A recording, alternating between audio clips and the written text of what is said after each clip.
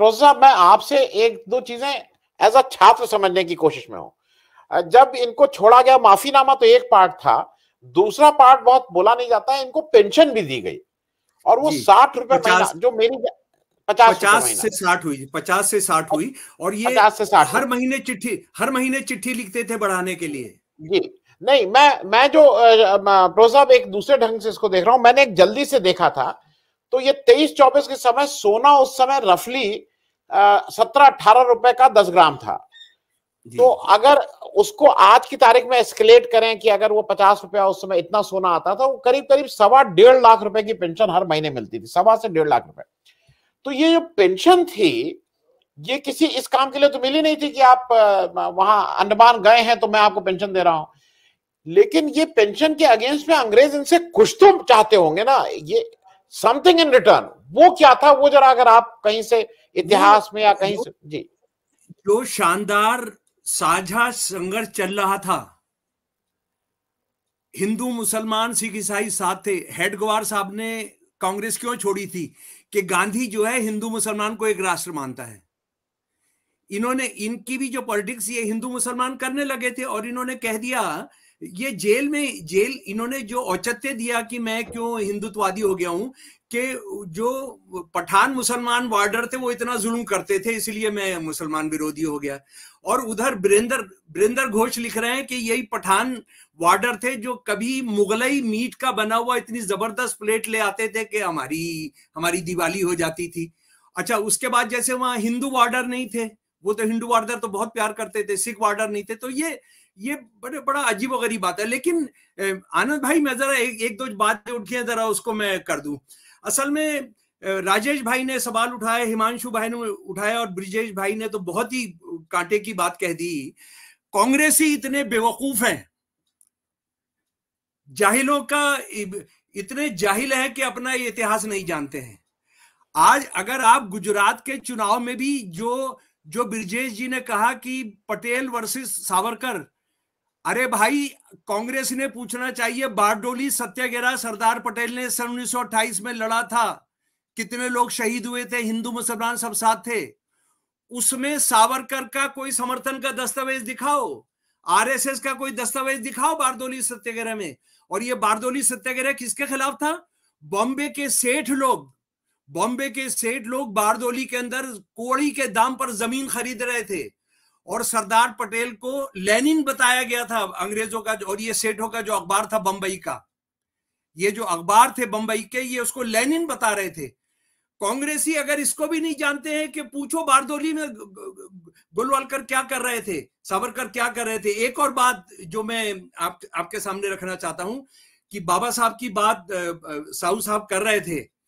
बाबा साहब ने ये कहा कि जहाँ तक टू नेशन थ्योरी का सवाल है सावरकर और जिना में कोई भी भेद नहीं है, क्योंकि मुस्लिम लीग से बहुत पहले सन उन्नीस सौ सैंतीस अहमदाबाद के अधिवेशन में उन्होंने कह दिया था, हिंदू और मुसलमान दोनों झगड़ा करते हुए दो राष्ट्र हैं। वो तब बोल चुके थे।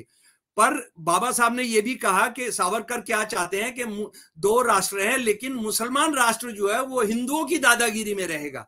तो ऐसा तो होगा नहीं, वो कह रहे हैं वो तो सिविल वार होगी फिर। तो ये बात बहुत पहले आ चुकी है और मैं कांग्रेसियों से निवेदन करता हूँ कि आप पूछिए कि चलो, उन, उनको तिरंगा पसंद नहीं था। तिरंगे को तो आप जानते हैं ना, सावरकर साहब ने क्या कहा कि ये खादी भंडार का झंडा है। तिरंगे को आरएसएस ने 14 अगस्त उन्नीस को लिखा कि ये मनूस झंडा है क्योंकि इसमें तीन रंग है। चलो भाई, आप तिरंगा नहीं उठाया आपने अंग्रेज़ों के खिलाफ। अरे आप केसरिया उठा के कितनी बार हम अंग्रेज़ों के खिलाफ जेल में गए? आपने भारत की आज़ादी की मांग मांगी। आपने कितनी बार वंदे मातरम गाया सड़कों पर? पर सन 1925 के बाद और सन 1922 के बाद आने के बाद कितनी बार आप जेल गए? मैं आरएसएस के हर बड़े लीडर से, छोटे लीडर से जो जमाने में एक्टिव था, उससे पूछना चाहता हूँ, कितने सेकंड के लिए वो कभी जेल गए? कितने, कभी उनका नाखून कटा, कोई उन पर मुचल का दायर हुआ, कोई उनको सजा दी गई? एक उदाहरण बताएँ कभी गौ माता की हत्या के खिलाफ उन्होंने कोई प्रदर्शन किया? सन उन्नीस के बाद अंग्रेज़ों के राज में। लाए एक सबूत लाए। और बारदोली के सत्याग्रह को इशू बनाना चाहिए कांग्रेस ने। पटेल साहब का जो सबसे बड़ा मामला है। तो बात यह है, राहुल गांधी कितने बेवकूफ़ है, कितने नहीं है, क्या नहीं है, लेकिन जो इस देश ने पिछहत्तर साल पहले कर देना चाहिए था कम से कम गांधी जी की हत्या के बाद कर देना चाहिए था। लेकिन कांग्रेस के कांग्रेस के जमाने में जितने साहित्य की संस्थाएँ थी, वो क्या कर रही थी? मुगल राज कैसा था? कौन कैसा था? एंशियंट इंडिया में क्या हो रहा था? गांधी जी की हत्या के बाद उन्होंने उन्होंने इनके इनके दस्तावेजों को आउट नहीं किया। जो आरएसएस के जो दस्तावेज़ मैंने जमा किए हैं सारी दुनिया से ये दस्तावेज़ अगर गांधी जी के बाद रहते तो ये आज ज़िंदा, आज ये दिखने को नहीं मिलते। आरएसएस नाम की चीज़ नहीं होती। आरएसएस जो है मुसलमानों के खिलाफ नहीं है, हिंदुओं के खिलाफ है। ये एक संगठन है जो जिस धर्म की बात करता है, उसमें इनइक्वलिटी में विश्वास करता है। ये कहता है 26 नवंबर 1949 भारत की संविधान सभा ने संविधान को पास किया। चार दिन के बाद ऑर्गेनाइजर ने एडिटोरियल लिखा we reject this we want Manusmriti we want Manusmriti as the as the law of the land ये इसको इसको बताना चाहिए।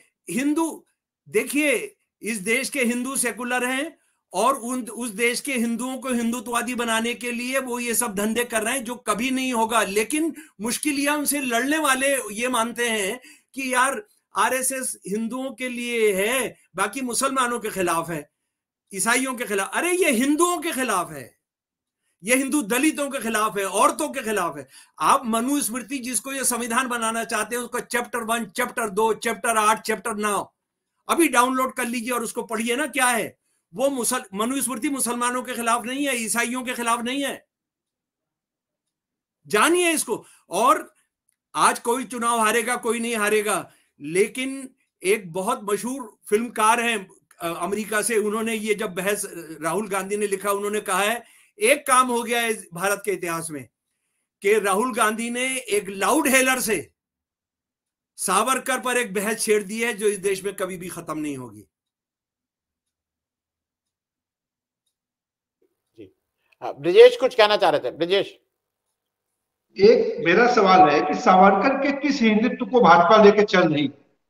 सावरकर गाय को कभी माता नहीं मानते थे कहते थे दूध देने वाला जानवर वो भारत को भारत माता नहीं मानते थे। कहते थे ये पितृ भूमि है मातृभूमि नहीं है। तो क्या भाजपा का जो हिंदुत्व सावरकर ने अपनाया है उसमें इन दो चीज़ों पे क्या स्टैंड है? क्या यह सवाल किसी की तरफ़ से पूछा जाना चाहिए? अगर सावरकर के हिंदुत्व में भारत जवाब जवाब दे रहे हैं। प्रोफेसर साहब दे रहे हैं जवाब। हिंदुस्तान टाइम्स ने बाबरी मस्जिद गिराने के बाद एक एडिटोरियल लिखा। Double talk triple talk is an understatement in case of RSS सत्ता में आने के लिए कुछ भी कर सकते हैं। मैं आपको दावे से बता रहा हूँ, अगर कल औरंगज़ेब का राज आ जाए, ये सारे के सारे औरंगज़ेब के कैबिनेट में होंगे। इनको सत्ता में रहना है। किसी भी तरह से सत्ता में रहना है। अगर सत्ता में नहीं रहने होते तो जब सारे कांग्रेसी गिरफ़्तार थे पाँच पाँच हज़ार लोग एक एक दिन में शहीद किए जा रहे थे, क्विट इंडिया मूवमेंट में। तिरंगा झंडा लेकर निकलिए और मारे जा रहे हैं। गोली चलाए, चला जा रही है। मैसूर सरकार जो हिंदू महासभा का फाइनेंसर था, मैसूर राजा, उसने साठ से ज़्यादा लोगों, उसकी सेना ने हत्या की।